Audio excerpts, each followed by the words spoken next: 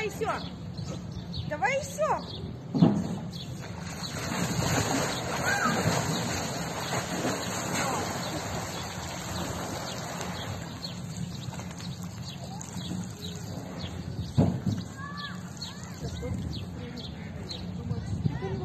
Интересно.